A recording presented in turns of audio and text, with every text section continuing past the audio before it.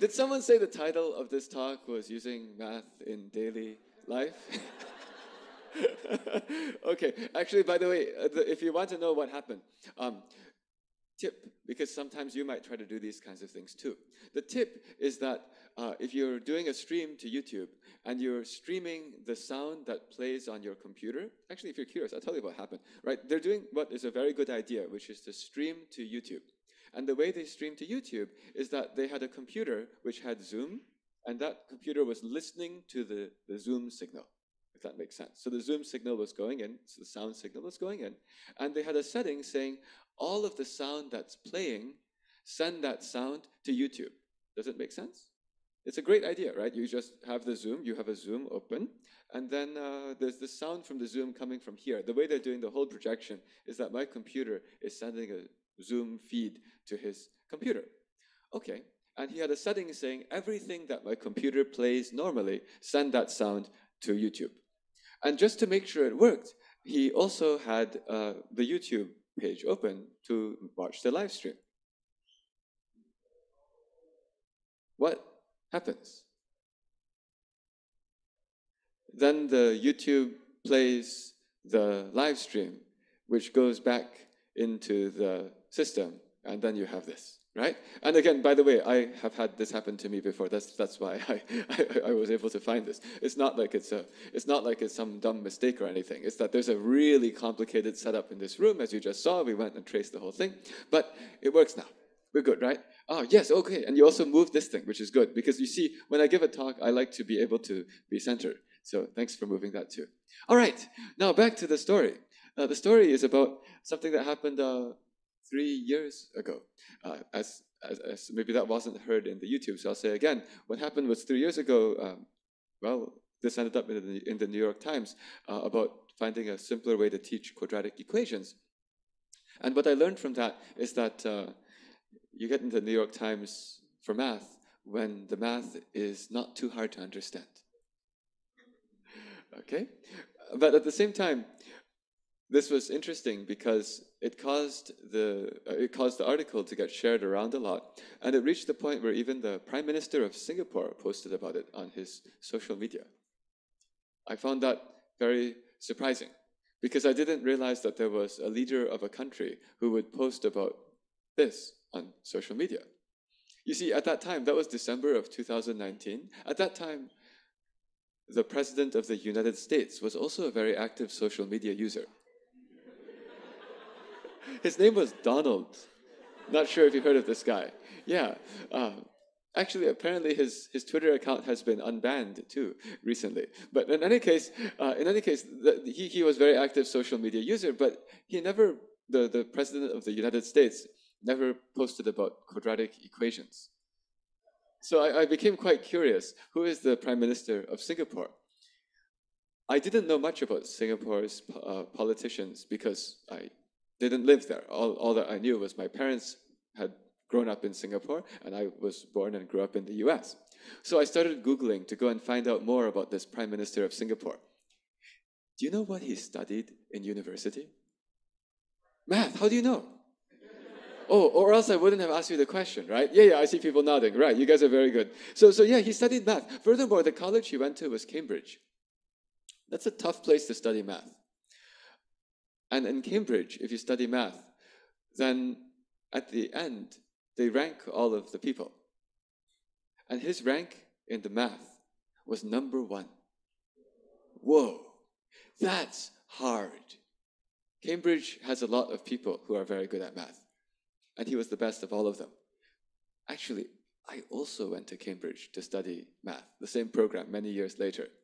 I didn't manage to rank number one. There's only one of them right? So I want to emphasize the Prime Minister of Singapore is a math genius. Maybe that's why Singapore kind of works. okay, okay. Well, uh, continuing on here, I, I, guess I should be careful. I wasn't trying to make political statements in this talk uh, at all, at all. I wasn't actually trying. Oh no. That, that was not the intention by any means. But, but um, I was simply commenting that people with math background can sort of think about any problem and figure out what's going on. But anyway, so uh, I, I actually stopped thinking about the Prime Minister of Singapore and quadratic equations very soon after, though, because all of that happened end of 2019, and then this article, even that article was from uh, February of 2020. But then by March of 2020, I started thinking about something else. Can you imagine what could possibly have caused me to change my focus to something else in March of 2020? COVID, COVID, yes, maybe maybe you also changed your thought process to something else in March of 2020. Yeah, so that was uh, that, that was that was because unfortunately the whole world was shutting down. It, it felt very strange. Uh, where I lived, suddenly one day actually in, in Pittsburgh, Pennsylvania, the police even said we we will have no more people driving around. Uh, we're, we're closing down. Don't don't drive around. And it was quite eerie, you know. You sort of see some police cars, and after a while, I think they didn't keep closing down, but there was really nobody on the streets, even though you could drive around. It was amazing. Because occasionally, when you did need to drive around, there was no traffic. Couldn't believe it. Did you guys experience that too? Yes. Like, wow. Uh, like the, whole place shut down. And, I, it was a, quite a hopeless period also. I don't know if anyone else felt like powerless, hopeless, like, what are we going to do? This, this whole world, big problem. Well, for me, I, I was inspired to do something about it because I also am a Hertz Foundation Fellow. The Hertz Foundation is an organization in the US where they find about 15 people every year who are about to start their PhDs in science, technology, engineering, or mathematics. And they find these 15 people by having students apply from all over the country and then having an extensive interview process to go and pick these 15 people who hopefully are good at the science, technology, engineering, and math. If you get picked, you get a scholarship for five years for your PhD. So you don't have to worry about anything. But then you only have one requirement. There's a moral commitment that if there's ever a moment of national emergency, you'll come to help. The thought process was to have a group of scientists so that if you ever need to, then you can do something. I'm actually one of these people. So I got picked in 2004, uh, and so I'm sort of on call, if that makes sense. Actually, I, I also now pick these, help pick these people too. In fact, tonight at around 1 a.m., 2 a.m., and 3 a.m., I'll be interviewing several of the candidates who are applying for this year's cohort. Uh, it's 1 a.m., 2 a.m., and 3 a.m., not because we want to make them suffer, but because we don't want to make them suffer. They're in the United States. Right. So, so basically, the, the, the, way that this works is we, by the way, if you can tell, we take this very seriously because this is a matter of building up this cohort that if you ever have some major problem, you can have some pretty good scientists uh, available. Well, what happened was when the pandemic exploded uh, in March 2020, a bunch of us got rallied we, we got an email message from, from somebody highly, highly respected inside this community. And that email message had some information, some scientific information about COVID, which I didn't know before. This is March 2020. This is early in even in the knowledge space, right? So we found some information, and this person very strongly, in a very long message, encouraged us this is not just a national emergency, this is an international emergency. If you can have any ideas, you should go and do something about this. We have a moral commitment, remember? This is the time. This is the time. The message went on to say something, something like, What will you tell your grandkids that you did during the great pandemic? Okay, when you get a message like that, you think about what you should do, especially when the guy who sent the message is also pretty distinguished. He has the world record for the most number of patents ever issued to anybody. This guy's pretty interesting. If you, if you want to learn more about him, there's a very colorful article about him. His name is Lowell Wood. Uh, and if you look around on Google, you'll find out that there's a very long article. The headline of the article is by, it's by a journalist. The journalist called the headline, How an F Student Went On to Become America's Most Prolific Inventor. The subtitle says, and helped bring down the Soviet Union. You could imagine this is probably a pretty interesting person. By the way, the F student part, I think that was a stretch by the journalist. The guy's not really an F student. However, the point is that, uh, yeah, interesting person reached out. Oh, wow. So then I thought I should probably do something. But there's only one problem. Remember, I said this Hertz Foundation tries to find people in science, technology, engineering, and mathematics to come to the aid if there's a moment of emergency. You see, most of the other people, like almost all of the other people, actually do something useful.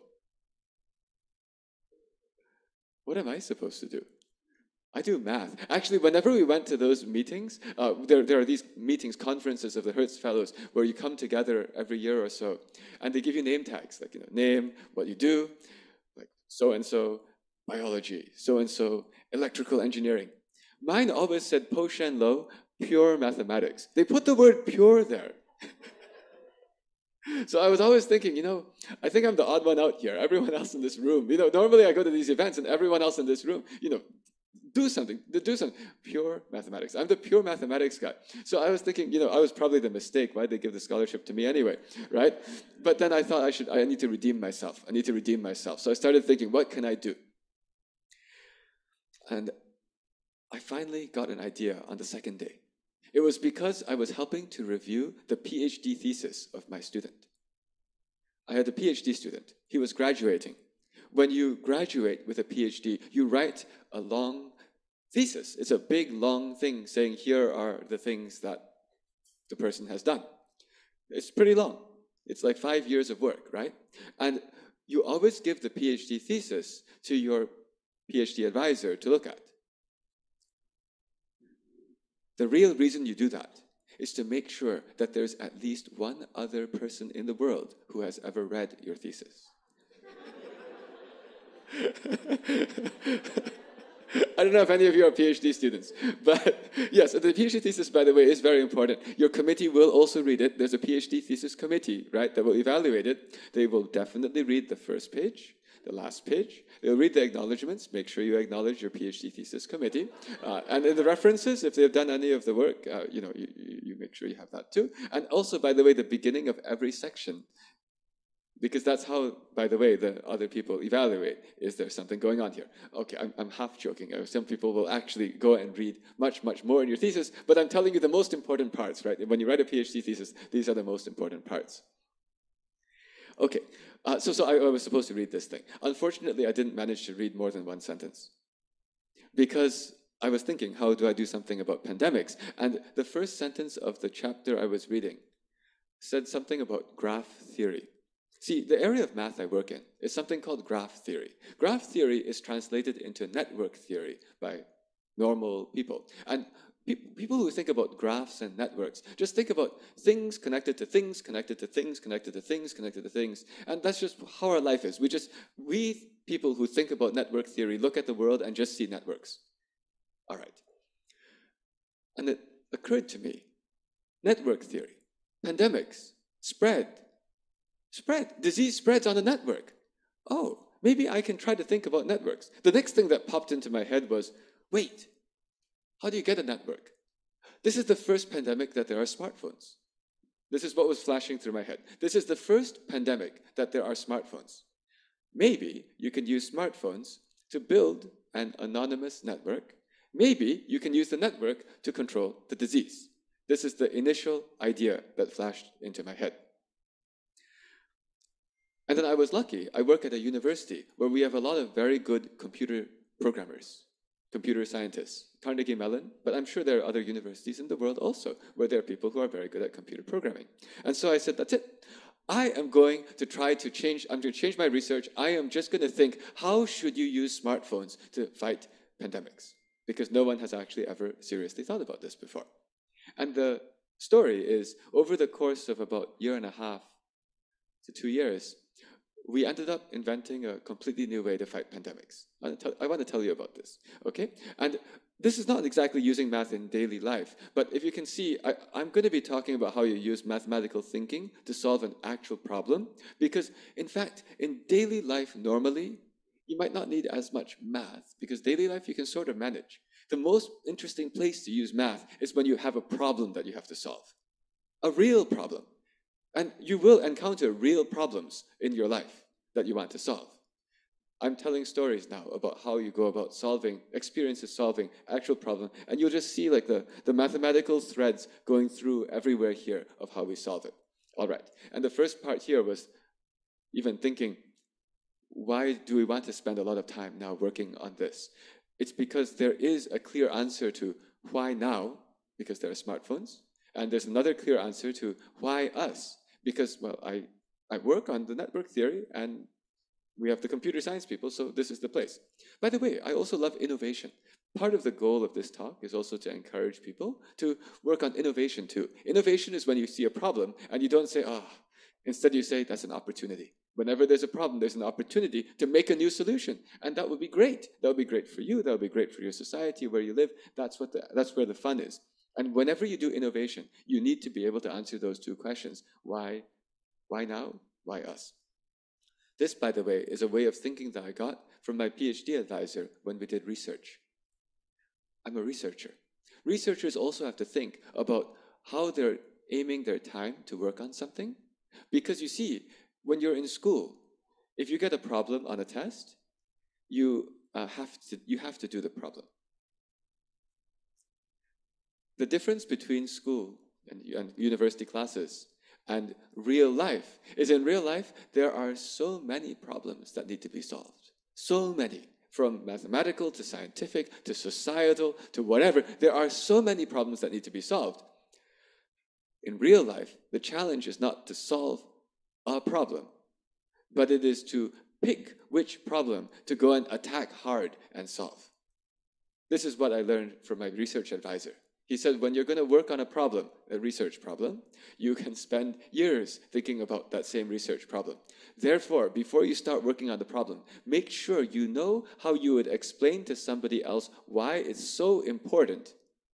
You need to have the introduction written before the rest of the paper, before you even do the problem. You need to know how you'd explain to someone, this is why we care about the result. If you can explain that, then start working on it if that makes sense. So this, this, this is, I'm sharing, I'm sharing this because in, in, your real life, you will also be able to choose what you want to work on. You'll be able to choose what career you want. You'll be able to choose what job you want. These decisions of where do you want to invest one year, two years, 10 years of your life, this actually is quite important. Okay, anyway, so now continuing on to this, yeah, we ended up inventing a new way to fight pandemics. Let me tell you a bit about it. So first, I need to, and this is also related to how a research talk goes. The next piece of this is actually a research talk. But um, in any research talk, you start by first explaining why anyone cares, then you talk about what, what everyone did before, and then you talk about what's new. This is also useful in case you ever give research talks. So first, why anyone cares about fighting pandemics? It's because unfortunately at this point, the entire world has learned that we don't know how to control pandemics. There's only one strategy being used in the entire world to control pandemics, well, okay, I should say vaccines. That's very important. We make those, right? We make vaccines, we make treatments. Unfortunately, there are diseases out there which don't have vaccines. I'm talking about HIV. And there are also situations where vaccines uh, start to lag behind further evolution of virus. We're sort of seeing this right now. And so, unfortunately, in those situations, the only thing we know is called the strategy everybody gets sick. This is what is being used right now maybe a few weeks ago, there were two strategies being used in the world.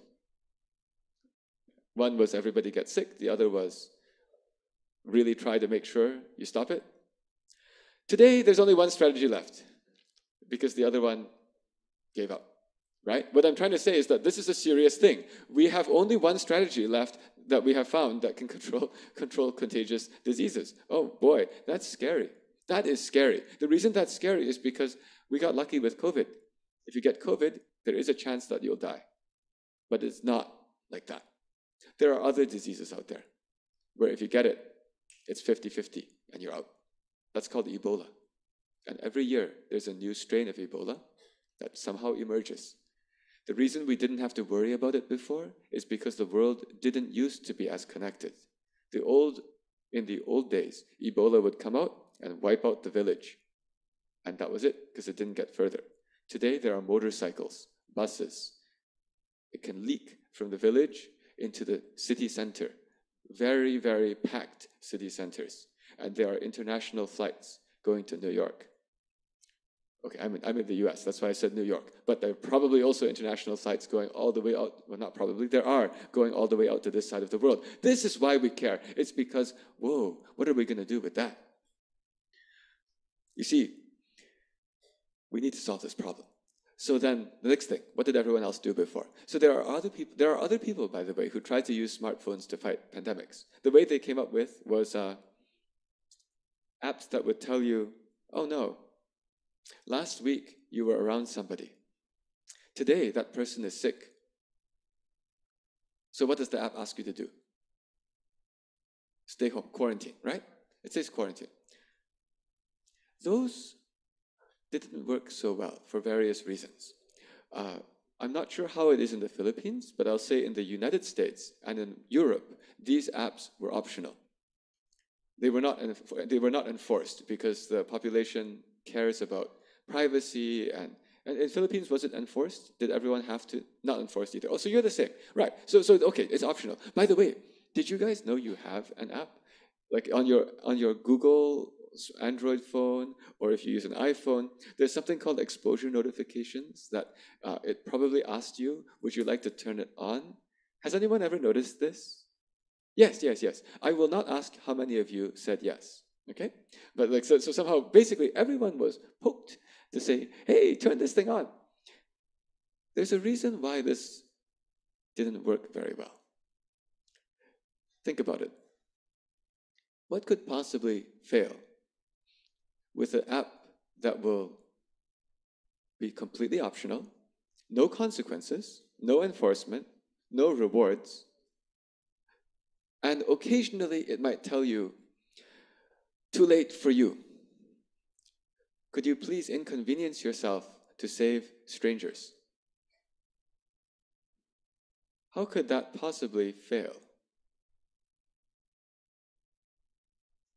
People just don't do it. That's the sad thing.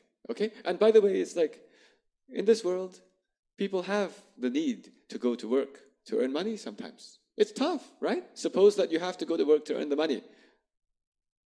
If it's too late for me already, you know, got a, got a family to feed. It's, it's complicated. It's complicated, right? I'm not trying to say somebody's right and somebody's wrong. I'm just trying to say this is the heart of something called game theory. There's an area of mathematics. Actually, it's an area of economics now, but it's where people think about the consequences of rules and everyone trying to do the best for themselves. Okay? And the problem with this whole system that was created was that from the individual person's point of view, it would inconvenience the individual to help everyone else. Yes, everyone in, uh, in total is better off if you do the right thing. But individually, for me, it's not great. So that's unfortunate. That's why it didn't work. Let me tell you what we made. We made something that would tell you ping three. Three means that somebody just got sick. That person often spends time with someone who often spends with someone else, time with someone else, who often spends time with you. What's the three? Why is that three? Yeah, because it's three steps. Does that make sense? You're third in line to get the disease. That's actually what that means, if you think about it in that, in that way. You're third in line to get the disease. Now let's think what would this do if there was a future lethal outbreak, like Ebola? Optional to do anything with this information. It's optional to do anything with this information. How would people react if they saw on their app, ping, 12? And what if a few weeks later, ping, eight, and then over the next few days, ping, seven, ping, five. Each of these is a new person who just got sick with this 50% lethal disease. You probably don't want to get the disease, okay? It's a new person who got sick with every ping. It's not that the person is walking to you.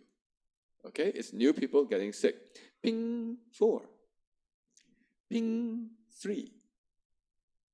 Ping three. Ping two.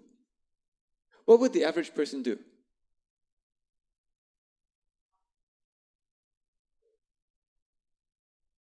Stay home, quarantine, run away from other people.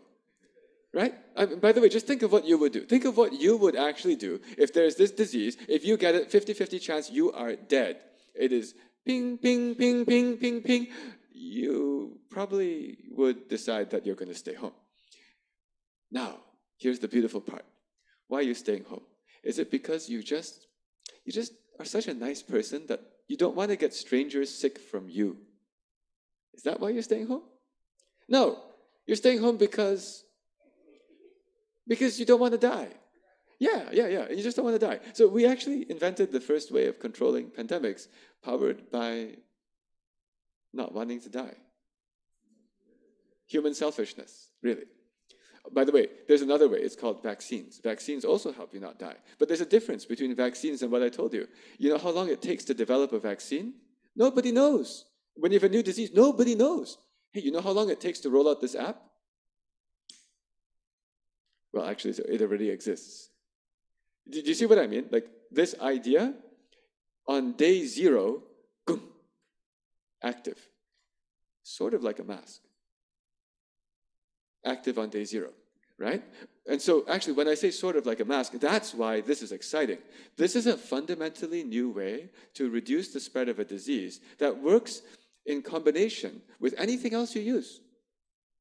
You can do all, the, when you want to control disease, you want all these independent ways of controlling the disease and combine them. And now suddenly there's a new one. Why did I say this controls spread of disease? Well, think about it. If somebody gets sick and then mysteriously the people who spend time with people who spend time with them just like are staying home, how does the disease spread?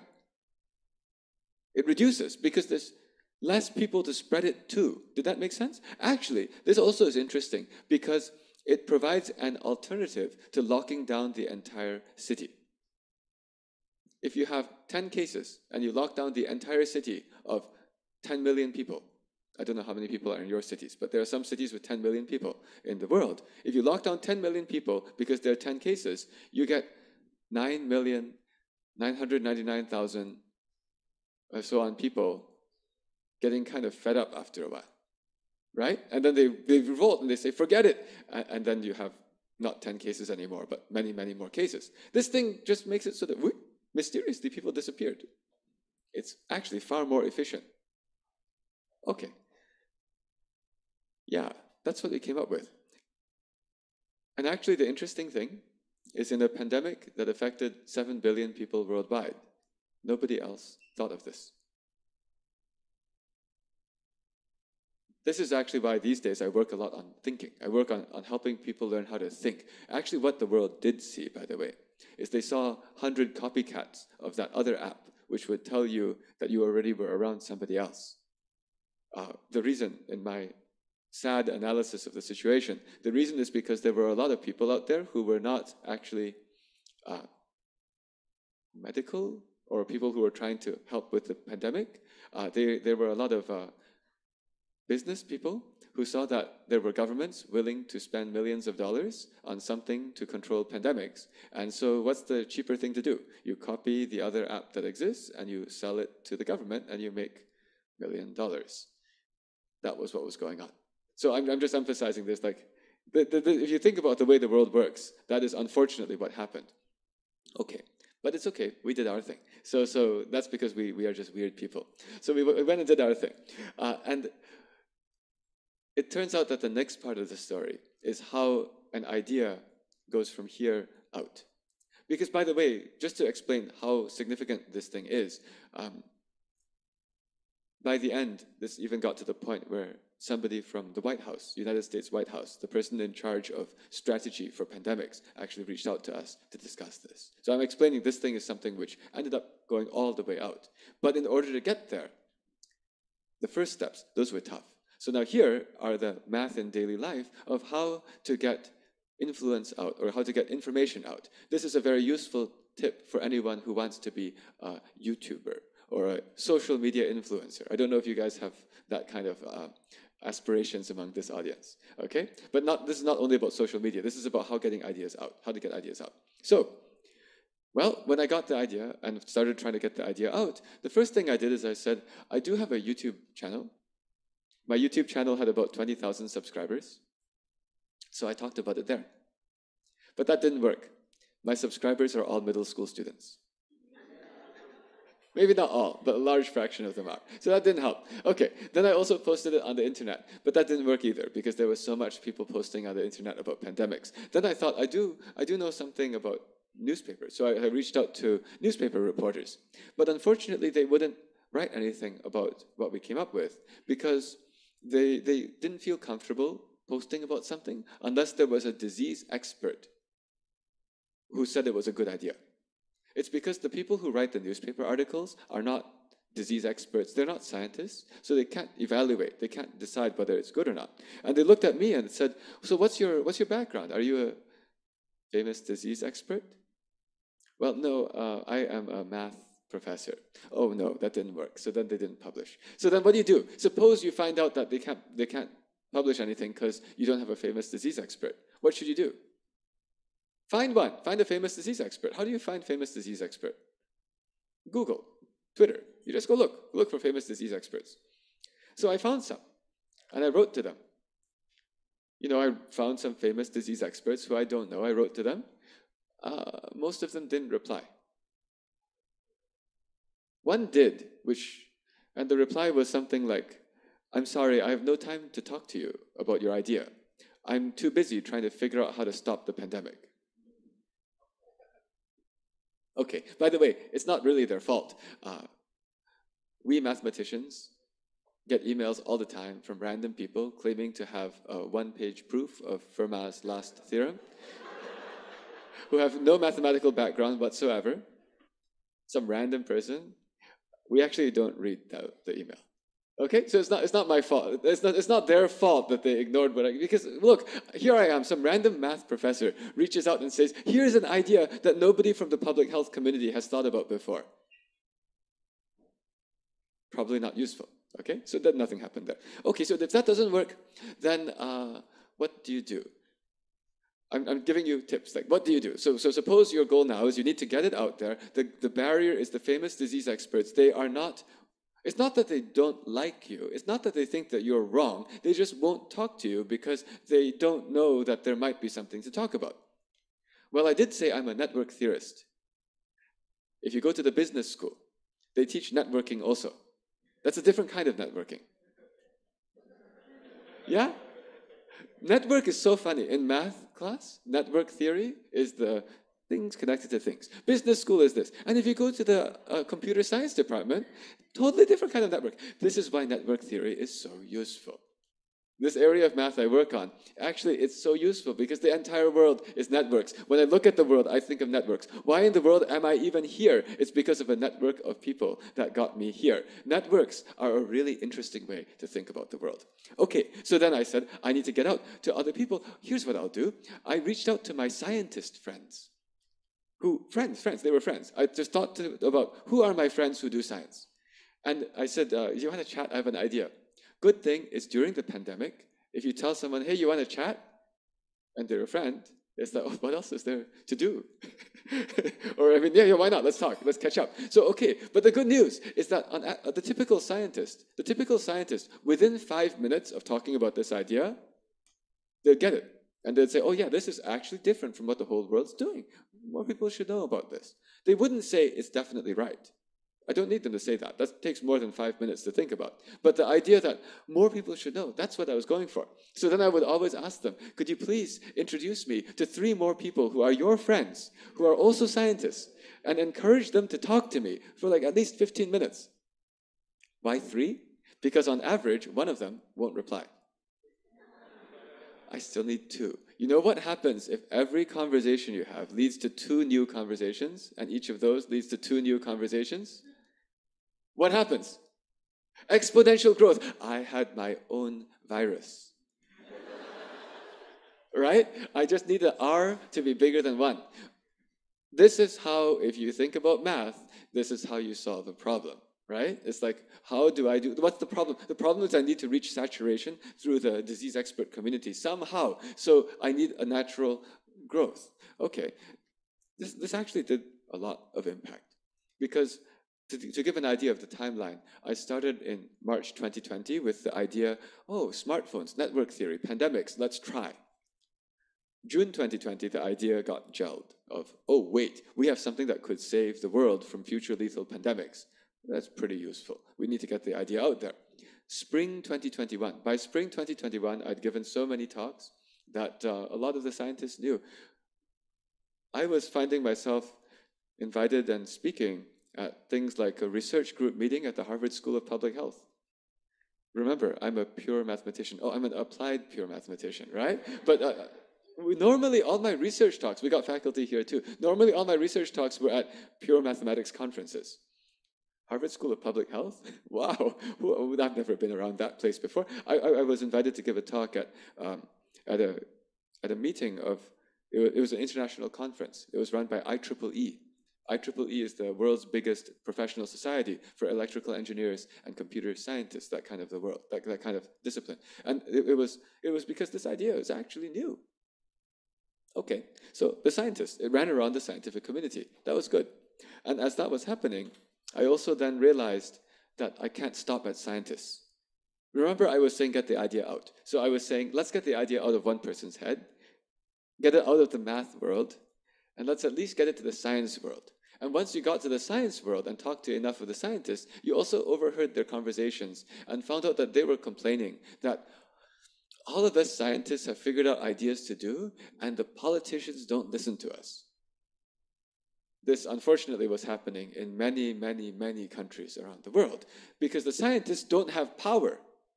Does that make sense? So, so well, not that does that make sense. Is that true?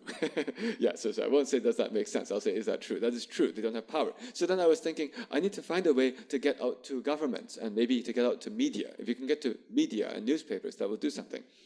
So I was also talking to governments. Here's what I found when I talked to governments. Turns out that when you talk to a government of a city or a region, oftentimes they would say, It sounds like an interesting idea. It's new, no one's ever done it before. The city is not able to understand whether or not it's really a good idea. So, how about you get another city to go first? You know what happens if everywhere you talk, they say, Can you get someone else to go first?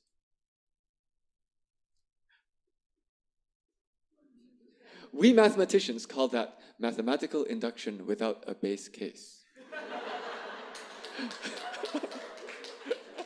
okay, I can tell there's some math majors in this room. Okay, if you didn't know what that meant, basically another way of thinking of this is it's as if you have a whole nice line of dominoes and there's no one to push the first one over all of us faculty, that's how we teach mathematical induction, right? So, so that's what was wrong. Doesn't work. So I was like, oh no, I was thinking, what do I do? I keep having the same problem.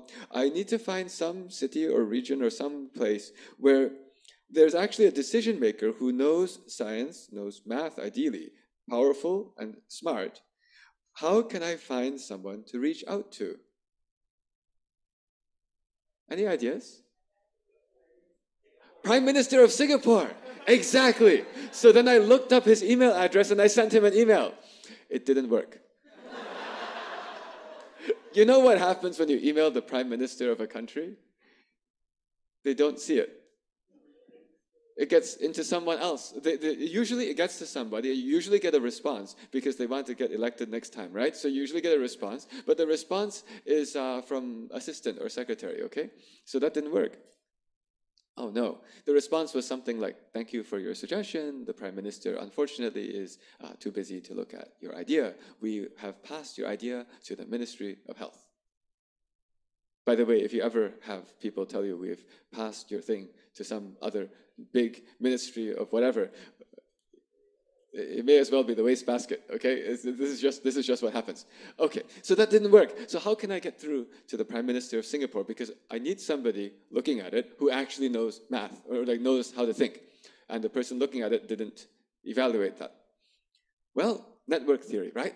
I am here because I'm here here because of this International Math Olympiad, because I know some of your International Math Olympiad coaches and former students. So I said, I also know the Singapore International Math Olympiad coaches.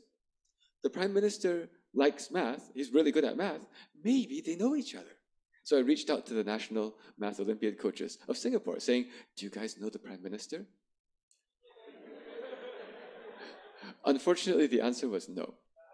And I said, Oh, that's too bad. By the way, you guys should probably try getting to know the Prime Minister. You might get more funding.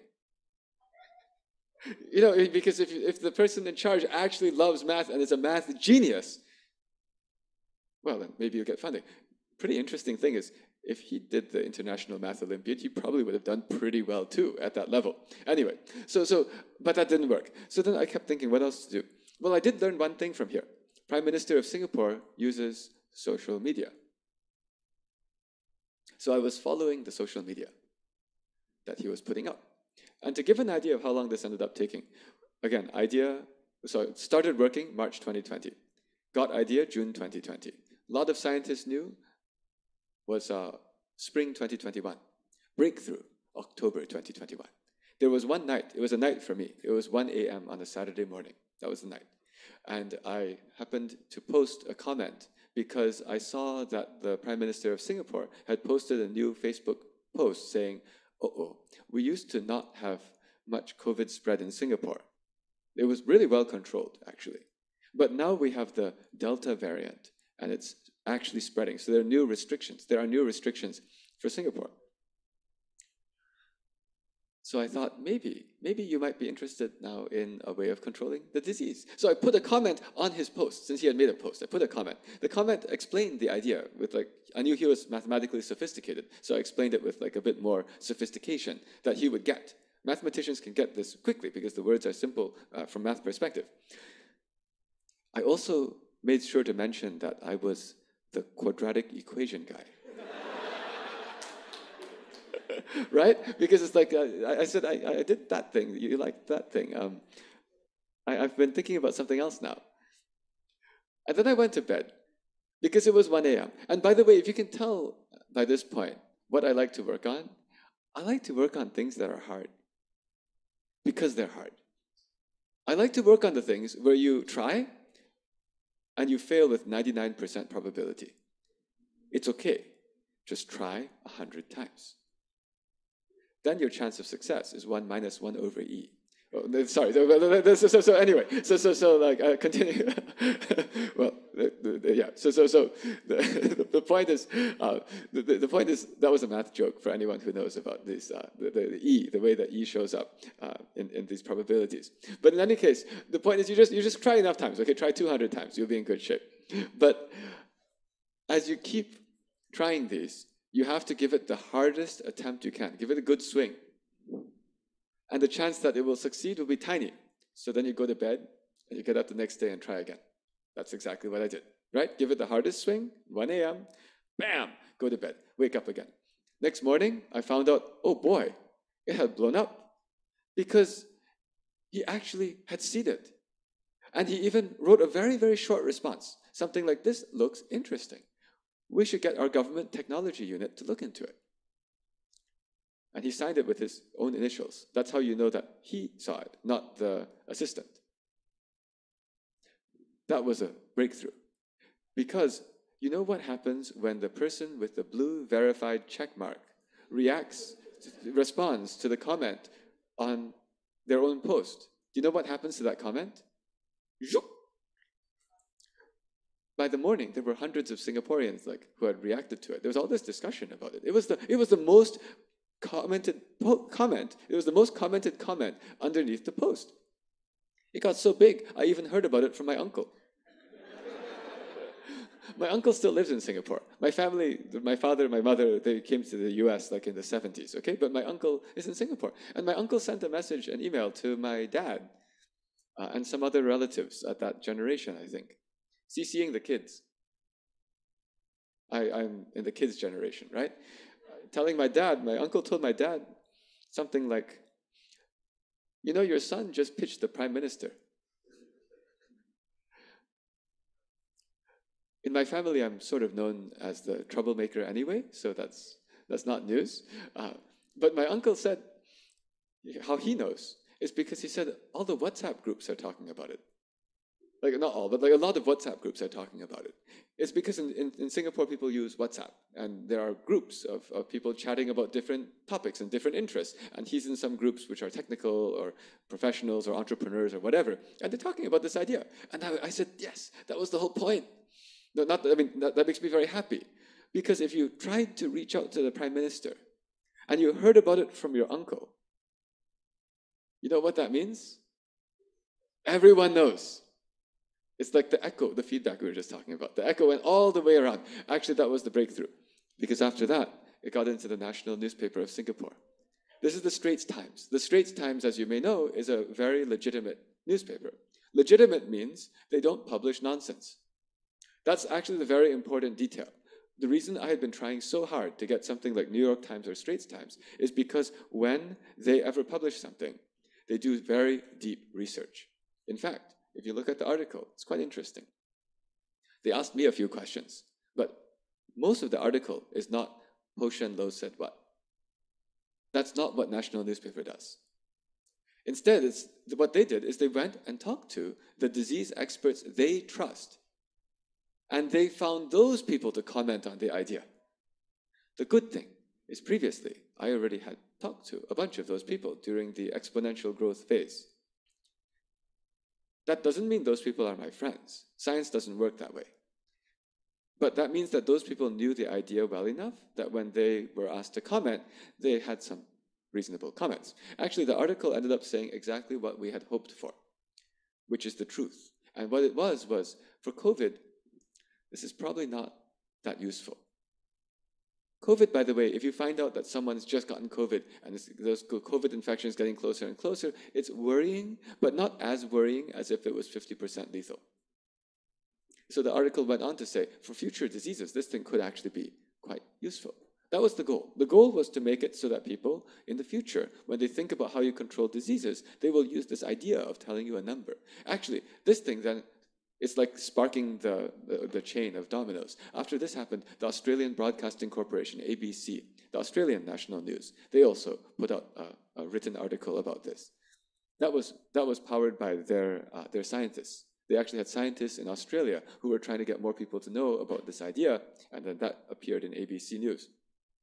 And around that time, we also managed to then get it into the Washington Post in the United States by getting it into Bloomberg, and that got into Washington Post.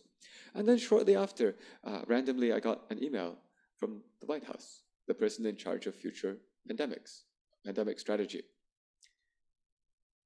I also managed to get to talk to the people at Apple and Google who are responsible for that little thing that they tell you do you want to turn on exposure notifications? So their product managers, their product teams also know about this too. So that's the end of that chapter that I worked on. When I say end of the chapter, it basically went all the way to the people who would make decisions or the people who would advise the decisions, people in power. Now people know. And I ended up stopping work on that because we've reached the point where basically, you know, there will be a future lethal pandemic in our lifetimes. It will happen. And you'll probably notice by that time that every app in the world probably will tell you a number just because this is now run around in the scientific community.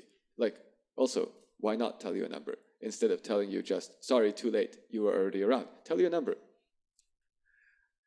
When you see that on your app in 20 years, made by Philippine government or whoever else made it, and it tells you a number, now you know where that came from. That was a year and a half of work, uh, of get the idea, push, push, push, push. What's the story? Yeah, the story is this is like, this is using math to solve real problems. And the problems are not just how to control pandemics. The problems are like, how do you get the word out? How do you get to people? Uh, this is how you use like a, a mathematical mindset. You just study good math, learn about how to think, and then when you look at anything in the real world, you don't just go and say, let's try this, see what happens. Let's try this, see what happens. I mean, you know, there's even a very, very big benefit of you know why it's good if you're trying to reach a very, very famous and busy person on social media to send it at 2 p.m. Saturday their time? That's good.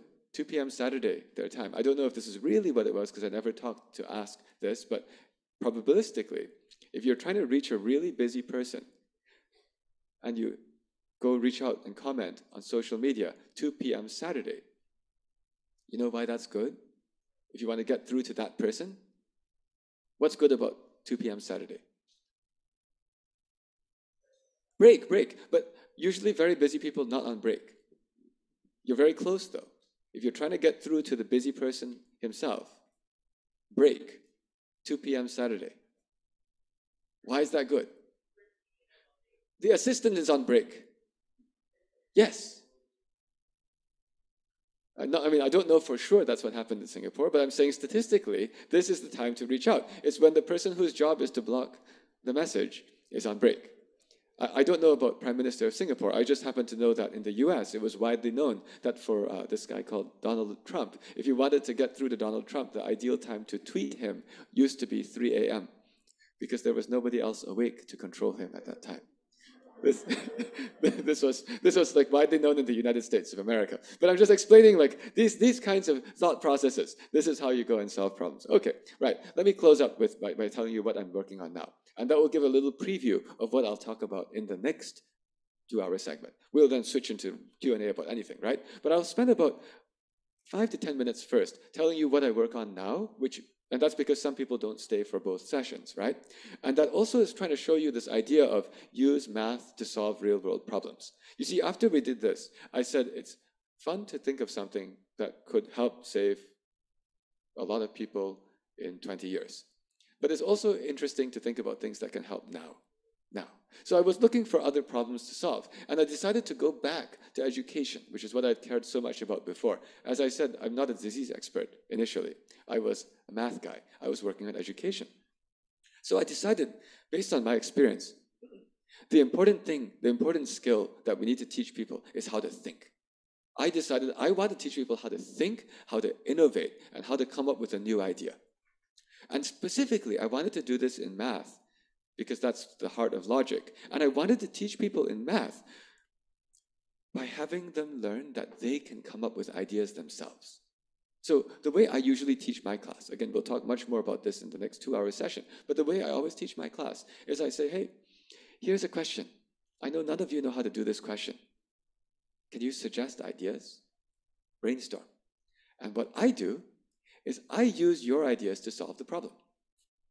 Of course, I know how to solve the problem, but I'm not going to tell you my way. I want to make your way work. All of you collaborate. We're going to uh, tell ideas. We're going to, we're going to solve it. And what this teaches students is that their ideas work. Instead of me telling you, this is how you do it. Okay? Now, I wanted to scale this up to let every middle school student, like sixth grade, seventh grade student who's, who's motivated to learn how to think, to be able to do it. But there's a reason why that wasn't widely possible before. It's because there weren't enough people to lead the sessions. This is actually after school, by the way, because in school, people are busy building the usual skills. I needed to have even more teachers and even more coaches to help with after school, and we don't even have enough for in school. So there was a major shortage of people. Well, I came up with a solution. The solution also comes from aligning incentives and game theory. The solution came from solving another problem at the same time. See, because I work with the top math students in the US and in many parts of the world, I saw that there are lots of people who are really, really good at math as high school students and even college students, really good at math. But their fun later in life and success and happiness is limited by the communication skills. When I say limited, they might actually be having a lot of fun, but they don't know how much more they could be doing. It turns out, by the way, I've, I've seen a lot of very talented, very, very skilled people. Turns out that if you have really good math skills, and if you have really, really good communication skills, to the point that you can get anyone interested in your idea, if you have both of those, you win. But when I was in college, we took a math communication class to graduate. The math communication class in every university is to make sure that you're able to explain every step clearly, which is also important. That's the first step. But I'm going second step. I'm saying I want to have people, not I want to, the people want to have even more. So I started a new program. It's a program for high school students. Right now, mostly most of them are in America, and college students also, but most of them are high school students in America. And what we do is these are people who are really, really good at math. They can solve any math, any middle school math problem without needing any preparation. They want to be able to get this other skill. So what we do is we hire professional comedians, actors, and actresses to teach them how to be interesting. I thought of this idea because the university that I work at, in Carnegie Mellon University, it's one of the top programs in the US for drama. Most people know us for computer science, but we're also one of the top in drama. If you want to know how could it be that Carnegie Mellon, that Carnegie could be anything around performing arts, just remember there's a building in New York City. It's also called Carnegie. Carnegie Hall right? So basically, my university was founded by someone who got rich with technology. He was doing steel making, and he loved performing arts. So in my university, we have both. So I actually got, I brought over talent from that performing arts side to build this, to run this piece. So suddenly, we have this seriously running program where we have actually lots of people who are trying to pick up these, these skills. They're super smart, and they're getting very interesting. And how does it solve the other problem of coaching middle school? Well, suppose you're trying to get good at getting anyone to listen to you. Can you do it just by watching professionals? What do you need to do? Practice. What do you think people who are really good at math are happy to talk about? Math. So then they live stream the best live video math classes ever made for middle school kids. Let me show you what this looks like in practice, and that then we'll, we'll close up shortly after and go to Q&A. So what this looks like in practice is that when middle school students join a Zoom, they see two high school students talking to each other and talking to them. Oops, that's not the one I wanted. Let me go here. Yeah, they see two high school students talking to each other and talking to them. And it looks and sounds exactly like this. In order to make it sound like this, I will unmute. Let me make sure I have the right thing going through. Yes. Oh, this is interesting. Let me try this. I bet this actually works. I'm going to play this. All right? So let's see if everyone can hear this. This is a one minute video clip of an actual live class that we teach. Minutes later. So as we were saying, they still meet at the midpoint. That's a great point made by Ayush. That's interesting. The sound is now playing on your Zoom and not in the outside world because you hear it. So, how do you make it so the audience hears it too? We have a new problem. So, yeah, yeah, this is another problem solving. So, oh, oh, oh, I know what's going on. I can do this.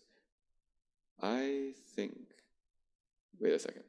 So and then sure now seeing this, since they go at the same speed, this the green one goes here at the same time the red one goes there. The and then 20 you hear it on YouTube. times 2.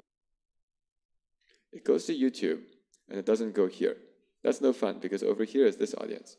So in that case, hmm, now we have a sound duplication problem, which is much worse because I want to make sure you guys can hear this too. So I will do something where we're, up, we're going to end up duplicating the sound for the YouTube people, unfortunately, but the people here will be able to hear it. Okay? I'm trying to think what's the optimal way.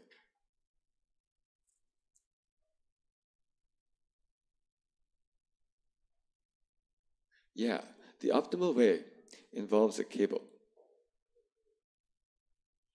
which I didn't bring. Okay, let me just do it this way. I'm just going to put the mic. I'm to put the microphone near here, so you guys will hear it. The YouTube people will get a duplicate, unfortunately, but we'll just do this. Max that. And actually, ah, to make it not duplicate, I know what to do. It will not play on the YouTube. Let's do this. Well, maybe it will. Let's see. So, as we were saying, they still meet at the midpoint. That's a great point That doesn't play. And then now I'm seeing this. They go at the same speed. This the green one goes here at the same time the red one goes there. And then 20 times 2 gives you 40. Because if it takes 20 minutes for green to go here from the first one to the right one. At 60 miles per hour, 20 minutes is 20 miles. And then this is also 20 miles, so we get awesome. Oh, I mean, Audrey, do you have anything else to add? I think that's a really good solution by, by. Yeah, it's really good. And one of the better things about that solution is that you actually don't really need to know how fast the trains are traveling. You can just use the symmetry to sort of. Yeah. So yeah.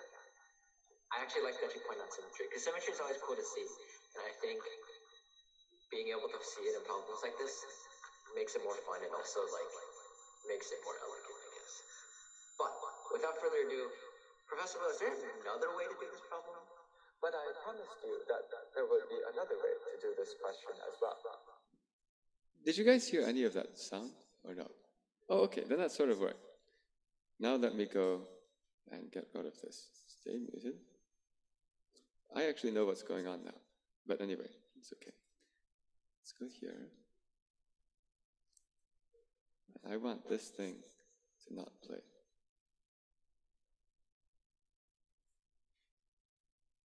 Yeah, set it there. Okay, right. Oops. Stop.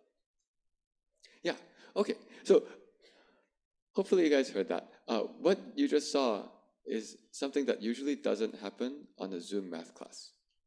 That's a Zoom math class. People open Zoom, and that is exactly what they see. That is exactly what they interact with. When I was teaching Zoom math class, it's not like that before. Okay? And so you saw a lot of things. You saw like two people dynamically talking. You saw like writing on the blackboard. You saw that whenever anyone says anything, the chats show up in the bottom, just like something called Twitch. Right? That's what we did. And so this whole thing, what we did is we made a way for actual effective teaching over internet. I'll talk about a lot more of that in the next section, in the next session of the two hours thing. But the thing I want to emphasize here in this group is that what we came up with was a new ecosystem. What's the ecosystem? We need to have people to help to coach. Where are they coming from? The way they're coming from is that there's, there's a lot of people who are actually trying to learn how to get more successful later in life. And this particular skill base, we made the world's only program that caters to people who are really good at math to help those people learn all of these skills. My inspiration to go and find the communications people from performing arts are because about five years ago, I was trying to get more people in America interested in math. I was working with a public relations firm. It was funded by the Overdeck Family Foundation, a major philanthropic organization. And when I was talking to the, uh, the public relations firm, they told me, you, you need a lot of practice you're no good at talking to normal people. You only know how to talk to math nerds. They didn't call them nerds. They said you only know how to talk to math people. So they said, you need to take improv comedy classes, improvisational comedy classes. And so I did. I spent a year for taking about four hours a week of improvisational comedy classes five years ago. It changed my life. And that made me get the idea of let's give that skill to all of these high school uh, math geniuses as well. Why performing arts people? Here's the problem solving part. Why go for actors and actresses? Because I realized if you actually want to get people to be able to be interested in anything you talk about, you should learn from people who are so interesting with their emotions and their faces that they can even get people interested in things that are not true. that is the job of an actor or actress. Do you know what I mean? It's not true. But that's, that's they, can, they can make you interested in anything. Okay, learn from them. Basically, the, the, the, the, take, the take home is like there are skills in the world. And there are people who have skills that you don't have. And sometimes you think that those skills are not things that you try to get. But actually, everything comes together in the end. And if you combine all of these, you get something. Okay, so this is my little a bunch of tour tour through a bunch of things that I work on. Of course, we'll have more hours later in the second and third sessions to go deeper into the ramifications of what this is with education and so on. But um, yeah, I, I, I, oh, maybe I should say one more thing. Why am I even in the Philippines? I'm in the Philippines because of that last piece. That last piece, we actually now have students, undergraduate students from, uh, and master's students from Philippines who are interns with us on that program. It's because of the fact that what we're doing scales. Oh yeah, fun fact. It's because our classes are all 7 p.m. to 11 p.m. US Eastern Time. I was trying to figure out where are there people who might be awake and interested in contributing 7 p.m. Eastern to 11 p.m. Eastern. Because for these classes, we have all kinds of different internship positions. Of course, there's people who are on camera, but that one only works if your internet's really fast. And we also have people who are live but off camera. That's because our way of doing a, a Zoom class is that real time. This is not like back office. This is like real time, right straight uh, teaching math through through text, because then that makes up for slower or intermittent internet connections. This is a part of our entire class. Anyway, I'm here because we have internships.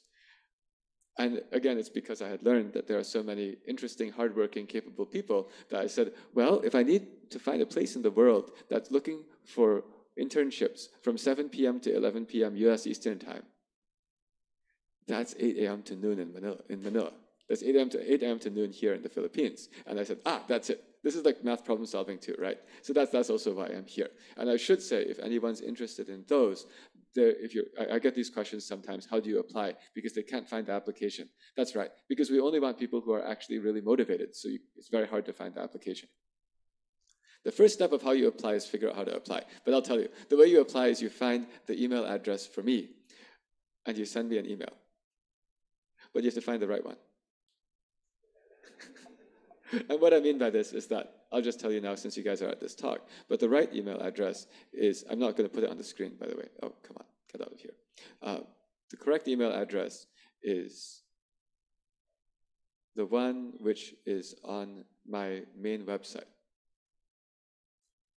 So you can find. There's a poshenloh.com. If you go hunting, you can find a contact, and if you send a message, then we can tell you how to apply. But the reason we do this is we don't want like a ton of applications from people who aren't serious. We want people who are actually interested in getting involved in some um, pretty revolutionary educationary, pretty revolutionary education stuff. Okay, but now I want to switch. I talked too long because we also did a lot of problem solving with the, with the tech. We got about half an hour left. Let's do like some free form Q and A about anything, right? And then we'll also add more of it into the second and third sessions. Okay. Yeah, yeah, thank you. Do you have a microphone too? Oh, this one should work. Yes. Go for it. It works. Hello, hello. Yeah, okay, cool. All right, so everyone, before we move on to the Q&A, uh, let's all give Dr. Loh a big hand. So some words of gratitude. So thank you very much for the live problem-solving session with the audio, and also uh, for your sharing your stories, which were not only amusing and engaging, but really incredibly, incredibly inspiring. I think everyone will agree.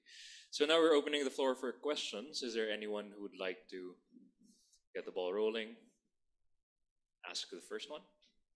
They can be about anything, by the way. Yeah. By now, you can probably tell I like lots and lots of things. No need to raise your hand, by the way. Just go straight to the microphone stand. Oh, Yes. somebody has a hand. Yes, yes, please come, please come, please come. And really, there's no bad questions here. I, I like all different kinds of topics. And if you tell me, if you start asking something, I can tell you a story about the something. Yeah. Inspired by the something. Yeah. Hello. Right. Uh, hello. Uh, by the way, I'm Kurt. I'm a graduate student in this university, uh, studying pure math as well. But uh, I guess my question is since we're talking about everyday math and all, uh, one of the struggles I find being a math major is making the pure math stuff that doesn't have immediate application interesting to other people, even to other math people. So maybe is there something that you can uh, share about how to make things like uh, appreciating things that doesn't have applications right now that maybe something in the future would be applicable but not now Yeah, this is a very important question. Thank you for asking. And especially if you ever write a grant funding proposal, you need to be able to answer this question. So uh, let me let me break your question down into a few different audiences to make the the math interesting too. And these are all important, and they are they go from easy to hard. Okay, so the, the first one is you better make sure that the math you're doing is interesting to other specialists in your area, because if they're not interested, good luck with everyone else. Okay? And the way that oftentimes my advisor taught me this, and I also do this myself, is that if you're going to work on a problem, you should be able to tell a story of why this might have some benefit somehow. And if you're talking to specialists, the benefit can be benefit in math. That is okay. If you're doing pure math, benefiting math is okay. But what does benefiting math mean? Uh, oftentimes, when you solve a problem, hopefully the, the method of the solution or the theorem that you're proving, the method of the proof, or the, the theorem statement itself, hopefully that adds some new understanding to something in math. That something could be something related to, related to some of the central main open problems, the main unsolved problems in your area. That's a good way to anchor. Another way to anchor is if they're related to some important areas in other branches of math. I'm going from narrow area of math to like other areas of math. For example, the area of math that I did most of my research in was network theory, but the kinds of things we used is we used probabilistic methods. And so what we were doing had relationships to actually randomized constructions. Like sometimes in, in math, you need to show that there is a way to line up a bunch of dots or a, a, bunch of sets to have certain properties. And it turns out that randomly generating it can sometimes be useful. Okay, and that's like a general philosophy that really came out about half a century ago, maybe more than half a century ago, that this became a breakthrough. I just told you a story right now of like why a particular uh, research in something about random constructions could be useful, right? And so that's that's a piece, and that that helps you explain to other math people why this is important and how to explain to other specialists this is important. Sometimes an easy way to explain to specialists that it's important is if the kind of it, apparently the lights think this is important too. But so, so another way to explain that this is important is sometimes to work on problems that there are some famous people who have tried solving them before and didn't succeed. It's like they had some partial progress on, an, on another research paper. So what you'll do is you'll say, see, this other research paper, they got to here, and they said in their concluding remarks that there's some open question, and we have now made progress on that. It helps if the people on the previous paper are somewhat widely known. The more widely known, the better. This is how you go and get some, something significant in your discipline. Now, if you want to get something to be interesting to non mathematicians, well, then you need to maybe be able to tell the general story of why your area of math itself is useful. Because someone outside math won't really know too much about your details. I just tell you I work on network theory. Do you know what I do on network theory? No, it doesn't really matter to you anyway, right? It's just like if you're not even close to it, networks, oh yeah, maybe those are useful. So make sure you have a good general explanation of why the area of math that you do is useful. Every area of math, by the way, has such a story, or else nobody would work on it, right? So it's good to figure that out. If you don't know that, talk to your professor or read the introductions for your professor's papers. Or if your professor is willing, maybe she or he will share their grant proposals with you to look at. My advisor shared when I was making my first research grant proposal, he showed me his. Uh, and it's not like it's secret or anything. Like the grant proposal doesn't say like, "Oh, here's my great secret." And anyway, it was an old one. It's just like these. This is the first paragraph is here is why it's interesting. And so I said, "Oh, that's what you say." You know, like I think my my, my PhD advisor, his uh, his one said something like combinatorics. That's the area of math of combinatorics includes network theory. He said combinatorics is as old as humanities. Uh, humanity's fascination with counting or something like that. I was like, yeah, that sounds pretty good. You don't use the same sentence, but you, you get the idea. You get the idea. So that's how you can show your area is useful to other people. Now, that helps you get the research funding things. If you want to explain to the real world how that is, that maybe is a little bit more challenging. But again, this doesn't need to have so much precise detail of your, your thing. I'm basically saying whenever you're interfacing to the next group, what they, what next broader group, all they know about what you do is the even, even more blurry picture. So you don't have to go and think about why your like very precise algebraic topology or whatever it is, what that has to do to the person on the street, right? The person on the street, then you start telling them about how like math, oh yeah, it helped me think about this thing. Like, like this is like the kind of talk I'm giving here, right? For an average person, this kind of stuff, you can use math to, to, to think about a, a, clearer way to understand why the earth is round. I don't know. I don't know if you're a geometer or not. That's just what's in my head right now, this minute. It's like, well, maybe if you want to understand if the earth is round or if the universe, if the universe is flat or round, then it might be useful to add up the angles. You know what I'm talking about? I don't know if you guys have taken those classes yet, but like, that's, that, that's like geometry. That's like geometry class of like the Euclidean and non-Euclidean geometry. But I'm just, I'm just trying to say, I just made that up right now, by the way. There's all these different kinds of things that you can use, and you just take advantage of the fact that that person doesn't need TMI, too much information, right? That's what we call it, TMI. Do you guys call it TMI also? Yes, yes. You don't need TMI. It's, it's just you, you, you got to figure out what is their impression of your stuff anyway. Go so that they can see a little bit so they feel like they sort of get it, and that's all you do. Did that help? Yes. More questions. And as you can see, they can be about anything, and you also don't have to feel shy. Right, great. I was told we have a question from one of our online attendees. Wonderful. Yes, hi. I'll be reading the question. Um, as a mathematics teacher, how do you make our learners realize the importance of math in their daily lives? Based on observation and experience, many of our Filipino students, particular, particularly our junior and senior high school students, do not really like mathematics or they find math difficult and extremely challenging. Thank you so much.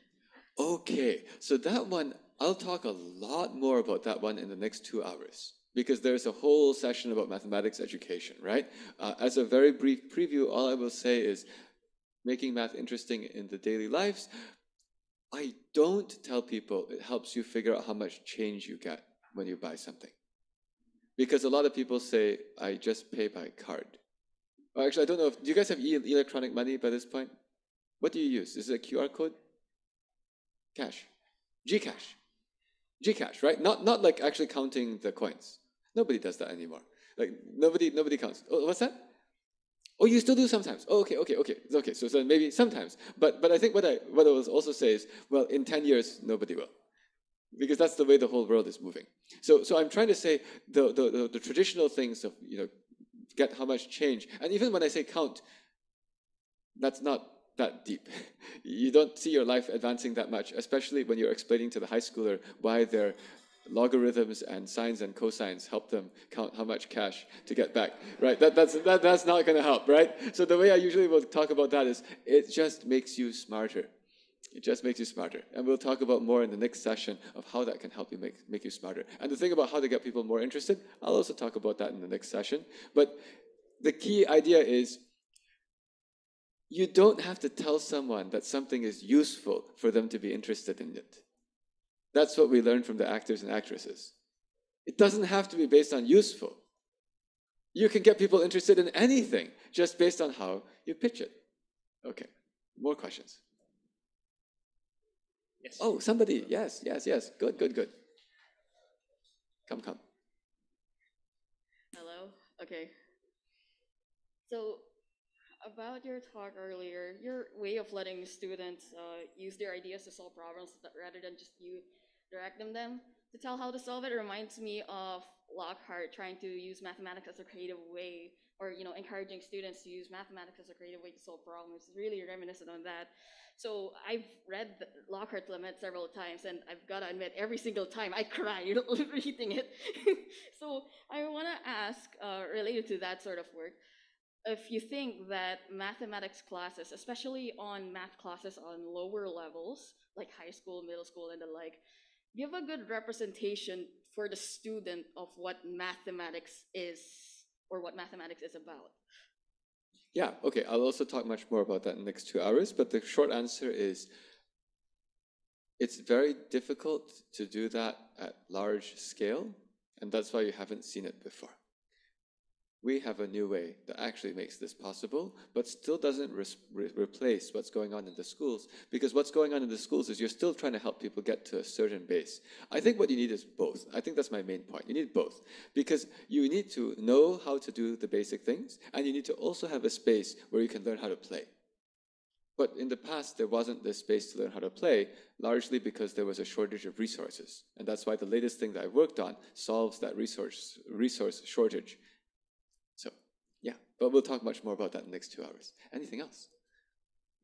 Ooh, lots of them. Here comes this person first, and we'll go to you next. Yeah. Uh, hi, Professor Loh. Thank you very much for that presentation earlier. I just uh, you mentioned that you took math communication in your studies before. Could you comment on what that entailed? And the second part of my question is: Should that math communication training be pursued also by postgraduate and PhD students as they progress through their studies? Thank okay. You.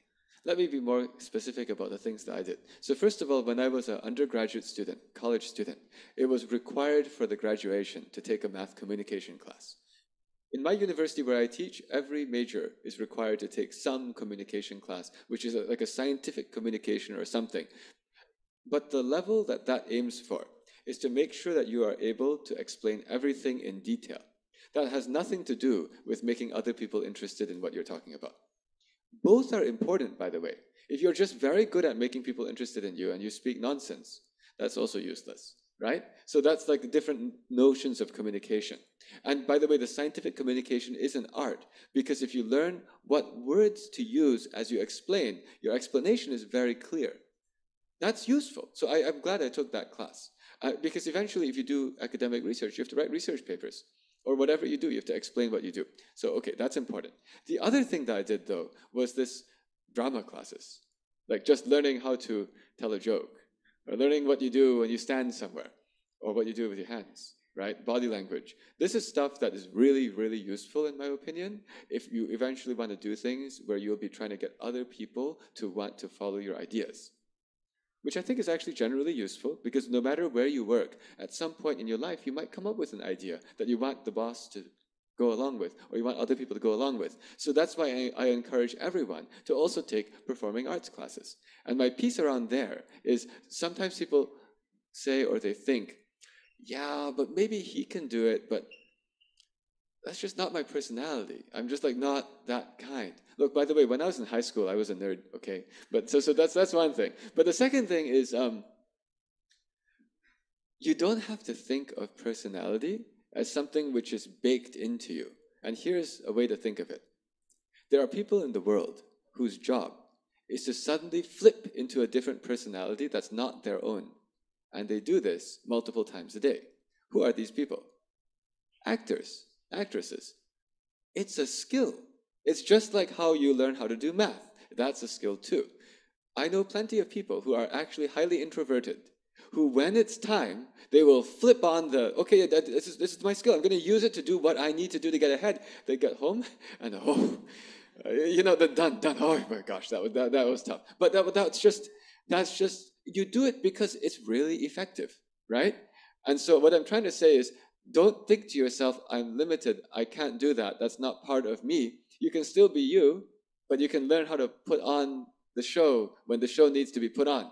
And how you do that? You go and learn it from people who do that every single day. Okay, more questions over here. Hi, thank you very much, uh, Mr. Po-Shen Loh. Uh, my name is Jason, and uh, I'm currently um, I'm currently employed for the past four years, and um, I used to work in an international organization. So uh, my question to you is this: So one is often when policymakers think of uh, approaches to the current problems that we have, uh, there are some answers in, you know, from scientists and mathematicians, but it, it, there's often like a communication disconnect with them because, as you mentioned, politicians often have like, you know, uh, one minute to read like an email from someone. So uh, I have two questions for you. So one is like, uh, as a practitioner of um, math and science, like how do you normally reach out to them? And the second thing is like from the from a policy standpoint, like how if we if ever we're interested in the research coming from your end, like what's the best way to get in touch with the academics from your end? Okay, I will answer your first question first, and the second one I'll have to ask you to explain a bit more because I don't understand the end of it. But the, I didn't hear clearly the end of it. But the thing about the how to get in touch with the politicians, right, or how to get influence on the politicians. Whenever I work with anyone, I first try to understand what is their motive. I start there. I don't start with what do I deserve. I always start with what's your motive? What do you really want? How do you advance? And I'll say that sometimes when you find out that the motive of the person is not even really to do the improvement on the area you want, then you say, oh, it's going to be kind of hard to do that. Can I find something that aligns with their motive? Oh, maybe I can do something that makes them look good and they, they can get advanced. I'm just explaining. Like when you want to do anything, think about how you help people advance. And the, na- the nature of government is something called bureaucracy, many different levels, okay? And sometimes if you're stuck in the middle level, you don't even have the freedom to think of, well, the whole country would just be better if we did this, because there's three more levels you got to convince the person to do, right? So you just realize that, and you realize that when you talk to the person, if you can find a win-win situation, if you can find out what they're trying to do, and you can show that it feeds in, you'll have it. Whenever I'm talking to a person, whether powerful or not, I often start by not talking yet. I, I want to learn about you. Actually, this is a general thing. When you are communicating to someone, if you want to communicate your idea to them, do not start by talking. Start by asking them about them. Then you figure out what they're going to be most receptive to, and then you give that. Okay, this is this is how I've been somewhat you know successful with some of these things I've reached out to. Another thing about reaching out to, to governments and politicians is the connections, the relationships, the network theory is actually extremely important because they're busy. That's what you just said.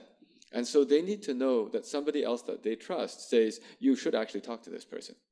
So when I go through life, I actually, I'm always thinking of this network that gets built with each person I meet. And I often am noting to self, oh, this person is close to like that location of power, or that location of resources, funding, or that location of uh, skill and talent, right? It's just, I'm always, I'm always like watching this and I have this big map in my head. So whenever I need to do something, it's the, oh, okay, let's see, what's the fastest way to get through towards that person? That's how I usually try to approach this government politicians. And the other thing I'll just say here is um, you have to be very patient too, because it's big. You have to be ready to be disappointed, because when the government changes, all of the things that you, all the relationships that you had, is that now you have new relationships to build. That's the name of the game, right? That's how it is. The second question. Did that, did that, some, did that kind of answer your first question? Uh, yes, it did. Um, if Second I could question. clarify the second part. So for me, like uh, I used to do math, but I ended up majoring in international relations, which is quite a far cry from math. But uh, I think one of the things that I realize is that again, like it, there's always value in reading what the scientists and the mathematicians are publishing out there because sometimes they do have the solutions that the politicians don't see. But uh, I think my question is, you know, for us who are already in, slightly in a world away from math, like what is your best advice for us to continue like cultivating that interest in that field so that we're not blinded by the solutions that we see from our from our, our upbringing and always look at back at the solutions that are coming up from the more technical side of things. Okay, so this is sort of a question of if you did math, you moved to somewhere else, you sort of want to know what's the buzz in math so you can stay plugged in. Mm-hmm. I'll make a I'll make a recommendation for something called Quanta Magazine. Has anyone heard of this? Quanta Magazine. It's free, right? It's free. That's also good. It's free. It's published by the Simons Foundation. Jim Simons is a mathematician. Actually, he's very, very wealthy. He's probably the most wealthy mathematician. But because what he, what he did is he started a financial firm that does investments called Renaissance Technologies. But he then donates his funds to go and help promote mathematics. And this Quanta magazine publishes very high quality uh, expository explanations of latest things in math. I say expository, they try to make it understandable, not quite to the layman. I'm not sure the layman will fully understand it, but for someone with your background, you would get it and it would be just like, it's perfect. Hmm. It's not designed for somebody where you must have a PhD to understand it. It's also not all the way down to the level that you explain it to like a, a primary school kid, right? So it's, it's, it's that. I would say that's an interesting place. That's where I often will find, whenever I see article in Quanta, I know, oh, this is probably some big thing in math that I should know about. And it will be easy enough for me to understand reading it and quite enjoyable at the same time. If you're, if you're trying to find out like the latest things that could be useful for something that you, you, that you work on, this is harder. I don't really know how to get discipline specific type information. On that one, it would just be to have a network of friends. And if the friend tells you something new happened, great. But otherwise, the Quanta is probably a good central source. Sure. Thank Yeah. you very much. Yeah, sure. Wait, so I think we have time for two more questions. Uh, one person is already making his way to the mic stand, and we have an online question, I think. So, Oh, so it looks like we'll take this one and then an online question. But thanks. It's come for the afternoon session. We'll have more Q and A. We'll have more Q and A. Yeah. Uh, hello. Uh, it's not it's not a secret that you have amazing numerical ability, but I'm just curious, how did you see yourself, or what pushed you to pursue pure mathematics in the first place when you could when you could have gone to applied mathematics or physics? Like, was it was this cultivated at such a young age, or did this like grow over time? Okay, so I'm going to give you a weird answer. The answer is that I never was committed to pure mathematics, and I still am not, right? What I was committed to has always been three things. Ever since like middle school, I've been committed to three things. The first is I like people.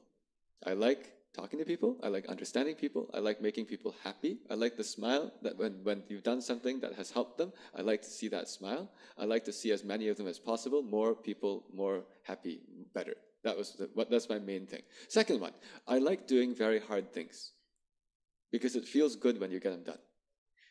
I like them even more if someone tells me that you're not going to be able to succeed. Then it's challenge accepted. Okay? And I like the third one is I like it when the breakthrough is from some different way of thinking or some creative thing that cracked it.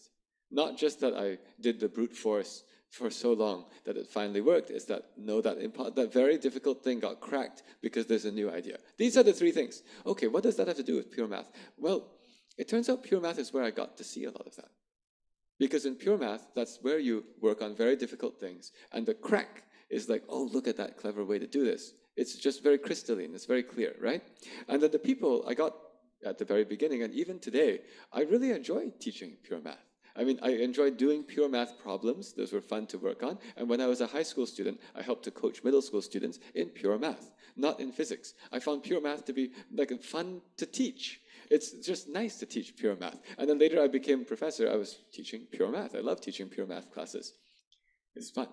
Now, uh, along the way, what did I major in? So the story is I'm not committed only to pure math in that I also do a lot of technology. I didn't even talk about that in this talk. I'll say more in the second talk. But I do a lot of the technology behind the work that we do with our online teaching. I actually write the code. I'm the main software engineer. So when I went to college, originally I was thinking, okay, I want to study computer science. But for me, financial stuff was relevant, so I chose the university based on which was affordable, most affordable for my family. I got a scholarship from a university, and so I went there. And it turns out that computer science wasn't the major there. So I said, I guess I'm not studying computer science, right? I'll go and do math. Math is a major, so I did math. And then finally, when I graduated, I said, now I'm going to switch my side to computer science, and I applied to some programs. Some of I won't name which because I don't want to pick on people. But I, I, I, I named a, I went I found a very famous program that did math and computer science, and mostly computer science. I, I thought not mostly, but I thought I could use that to switch over. But when I went to visit that university as a prospective PhD student, so I got in already and I went to visit, I, I found that the professors there weren't super interested in talking to me. And that made me a little bit worried of if I go here, will I get to learn that much? And then I went to visit Princeton. And at Princeton, there was this really interesting professor. His name was Benny Sudakov. He was young. He, was, he didn't have tenure yet. That means that he didn't have a guarantee to stay. By the way, at Princeton, that means you won't be able to stay. Because at Princeton, if you want to be able to stay and get tenure, you need to win the Fields Medal. That's difficult. Okay, so I sort of knew this would be a tough, tough experience. But he was just such an interesting person, a nice person, and it was clear that if you worked with him, he was going to help you. And I said, okay, I'm going to do what you do because I want to work with you. I'm a people person. I said, if I work with you, I will be fine because you're going to take care of the students, and I'll just work hard. I'll just work hard. And that was how I got into the pure math, and I loved it because he cared enough that he could explain to us why we care. It's like there was the question, why do you care about something? Oh, he was so good at explaining why you care, uh, and then I learned all of that from him. I'm telling this story to show that if I chose something else, I'd probably also have been happy. And I want to say this to everyone. There's no like, you would only be happy if you did this. There are probably lots and lots of things you can do. Your life just happened to put in that way. This is a way of living without regret, also, right? It's just you should live your life, choose what you think can help you go the farthest. And if you end up deciding to do this or doing that because you got opportunity to learn from someone really, really good to help you do that uh, or this or whatever, this or that, you will be successful. And then today I sort of use these math things to finally go back and do all the applied stuff I like to do. Did that help to answer your question? Yep. And the question online. And then we'll close the morning session. Uh, Helene.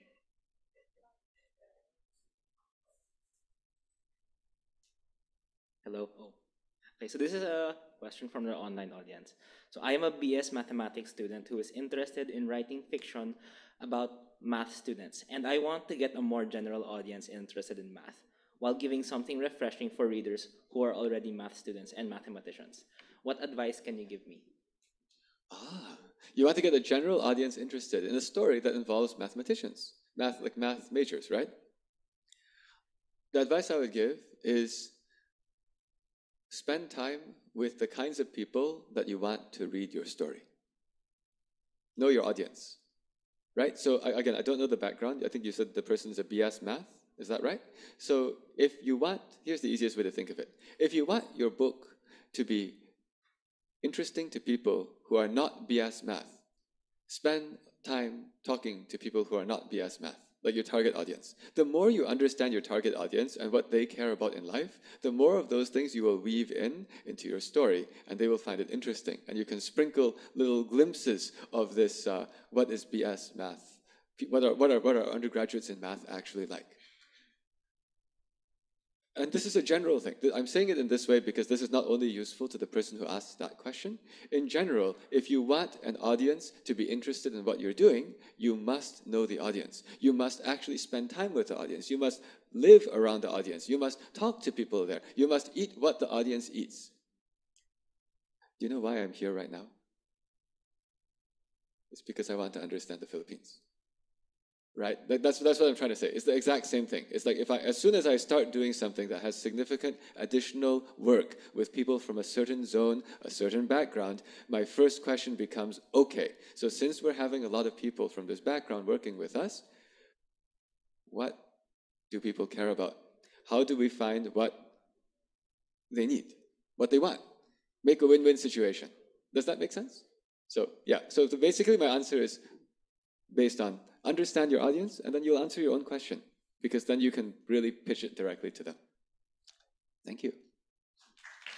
All right, let's all give Dr. Loh a big hand again.